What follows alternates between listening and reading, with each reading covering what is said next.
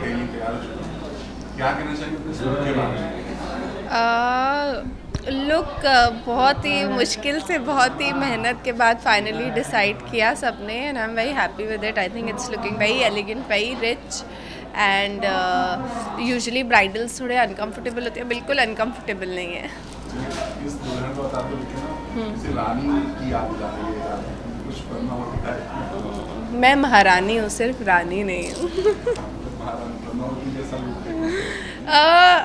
Actually intentionally it is not at all inspired from that look because that look is little Rajasthani this was created by the creative and the designers on their own which I think has come out really well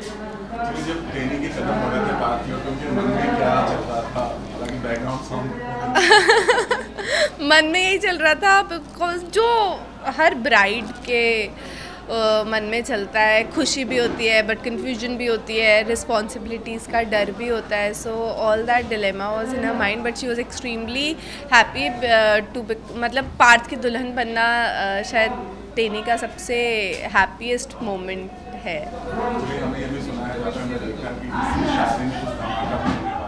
क्या होने वाला है? हाँ बिल्कुल धमाका होने वाला है बट बारात के पटाखों के धमाके होते हैं वो होने वाले हैं। हाँ। इस शादी को अब कोई नहीं रोक सकता।